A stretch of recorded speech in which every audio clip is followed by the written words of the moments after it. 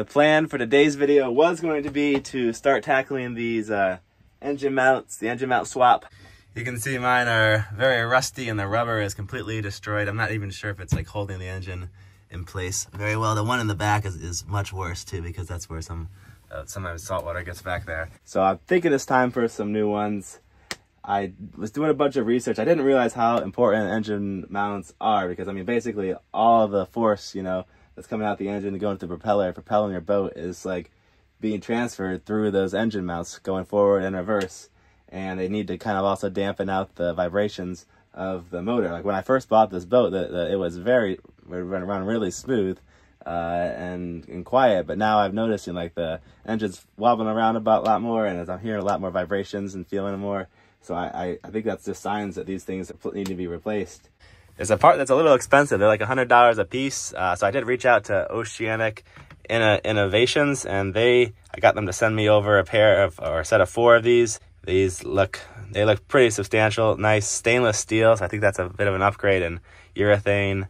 Uh, they, there's a different, I guess, durometer for the front and the, the back mounts. Unfortunately, I didn't do quite enough research because, uh, well, these, they said they're a direct replacement for the Yanmar mounts, and I'm sure they are. Uh, when they installed my motor, they used seem, seem to have used a lower profile mount. When I'm measuring the distance, like these things are way bigger than the, the mounts I have in there now, so I just don't think it's, unless I was gonna plane down these like a, an inch, I don't think they're gonna they're gonna work. That's the first problem. So we're gonna need to get uh, lower profile mounts. Uh, but the second one is, uh, I don't think I really thought this through in my head. I was just thinking, well, lift the engine just a little bit, swap out the mounts, put it back down. I can do it in the water, uh, maybe maybe a couple days. But what I didn't think is the, the PSS, the shaft uh, seal, kind of requires the pressure to be pushing the shaft out. Otherwise water will come in. So if I was to take the motor up off the mounts, I don't think there's anything, there would be anything holding the shaft seal together. I'm sure there's a way to do it, but I am not really confident about doing this in the water because uh, I just think it's going to take me a, a, long time to get everything done, and I, I just don't want to risk it. So I, am gonna I'm gonna go ahead and haul the boat out. I think I'll go I'll go back to Malta and do it because I really like that boatyard, and um I think I could have no problem sailing back to there. I've done that before. So we're gonna save the motor mount project for a little later. Uh, I feel bad I wasn't able to show these these great mounts at Oceanic Innovations uh, sent. If you do need new engine mounts for your boat, definitely take a look at them. I'll put a link in the description. We'll, we'll get this project done at a later date. Until then, let's just go explore more in uh, Venice. Adeline's gonna come, and next video will be sailing to Slovenia, get, get, getting moving for a while. I'm gonna put these little hooks right here because I always have like, I always end up piling stuff on this bench when I'm sailing and it tends to fall on the floor. So at least this way you can like hook like bags and purses and whatever, what have you. So hopefully it will not end up on the floor. The fridge won't stop beeping at me, so I'm gonna pull out the beeper and see if that makes it work or stop beeping. I think that maybe solved the problem. The buttons stopped working uh, a while ago when I got splashed with a wave, but it still, it still gets cold. We're just stuck with whatever settings I had it on, which I think it cools to like 40 degrees.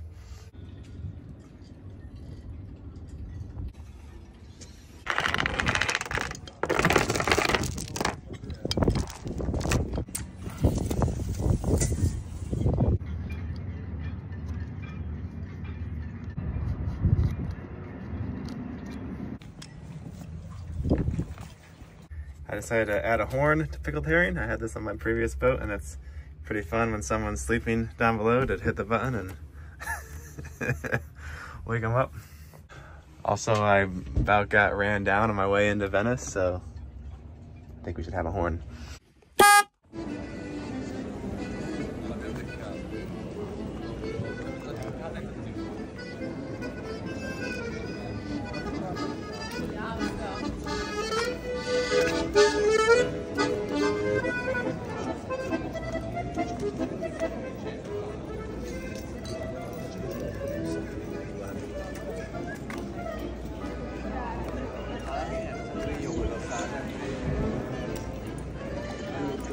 Sewed up one more fender cover with the hand stitcher. Annalene is here now and we're going to blow glass uh, uh, at the glass blowing place. I'm excited. Yes.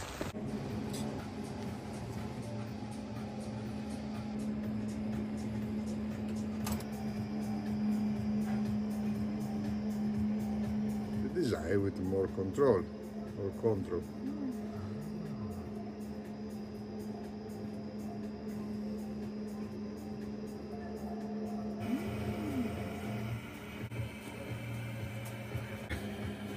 For before, make something more complicated.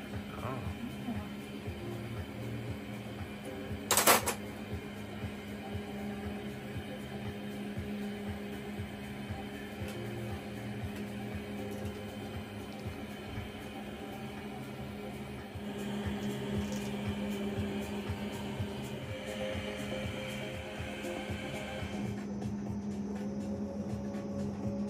very good. And, um,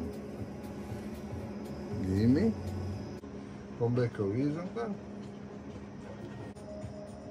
Bravo. Continue, continue, you can make it very long. Down, and let's go. Yeah. Yay! Yours is so much longer. Yeah. you did Yeah, it. very long. Yeah. Bravo. It is only good.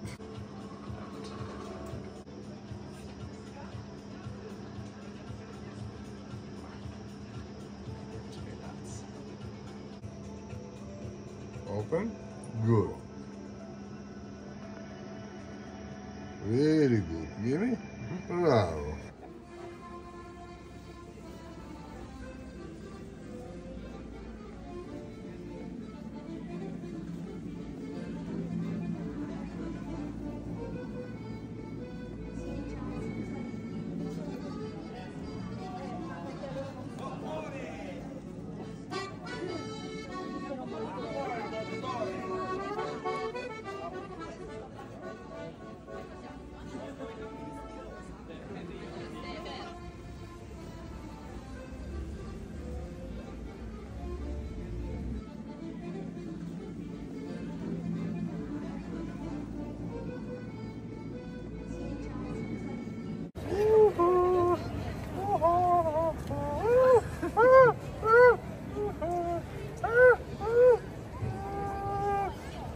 Doing our budget gondola ride.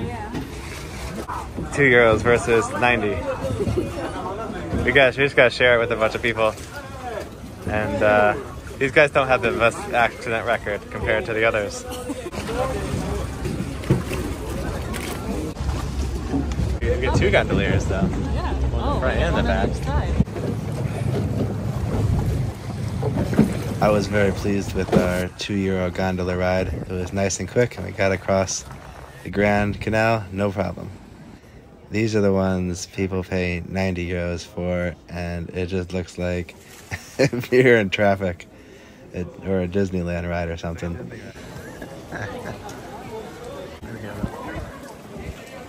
Batteries got real low the last few days because there's been no sun, but I'm gonna try my new charger.